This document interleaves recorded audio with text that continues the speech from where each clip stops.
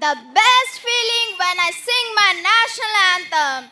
It's an honor and my heart beats out of my chest. सबसे अच्छी भावना जब मैं अपनी राष्ट्रीय गीत गाती हूँ तो यह एक सम्मान की बात है और मेरे दिल की धड़कनें तेज हो जाती हैं So ladies and gentlemen, at this time I'd like to draw your attention Sure. and request everyone to stand on your जैसा school band plays the national anthem तो देवियों और सजनों, जैसे ही बैंड बजने जा रहा है, कृपया अपने पैरों पर खड़े हो जाएँ।